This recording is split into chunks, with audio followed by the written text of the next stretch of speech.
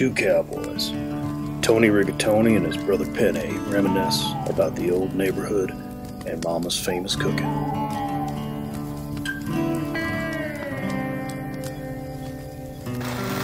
As they start to satisfy their hunger, they are greeted by an unwelcome guest, the notorious outlaw, Angel Hair of the Barilla family.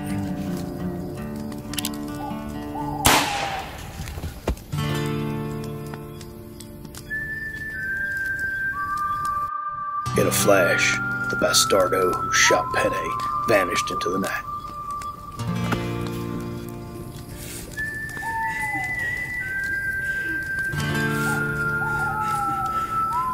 Rigatoni yells out a banshee call for his dying brother.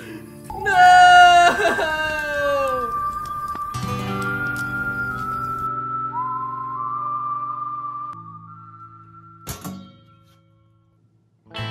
With grief and vengeance as his weapons, Rigatoni runs down every associate of Angel Hair. His rage was as bad as someone calling it sauce instead of gravy. His anger was as bad as someone calling it Taylor ham instead of pork roll. His grief was as deep as the landfills of Staten Island. That's what it felt like to watch his brother die.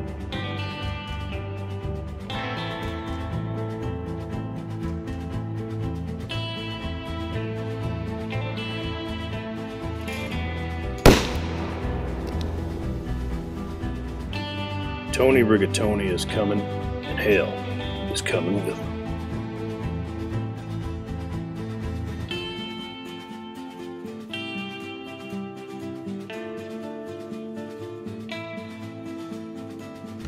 After hunting down every last one of Angel Hair's goombas, Rigatoni found himself in a rundown saloon. He was now face to face with his brother's killer, Angel Hair. Angel Hair laughed at the memory of his dead brother and said that his mother's gravy was worse than Pizza Hut's. The vengeful cowboy snapped at the outlaw. Jumping from his chair, he screamed, Why, you pizza rolling son of a gun! But before he could finish, Angel Hair challenged Tony to a showdown. Rigatoni accepts.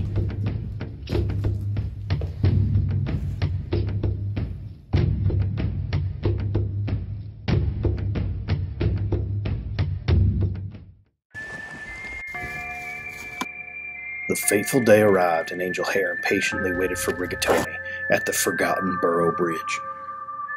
To Angel Hair's surprise, the cowboy before him wasn't Tony Rigatoni. Instead, it was his dead brother Penne, one of the fastest Italians on this side of the Hudson River. I thought you passed away. How about we settle what you started? Fight's not with you.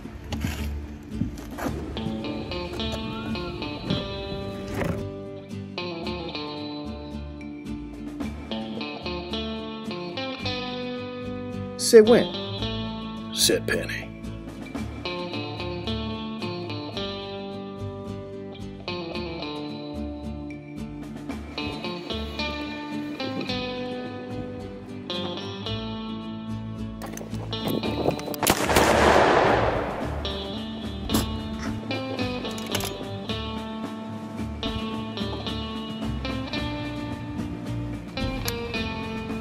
You can only do so much.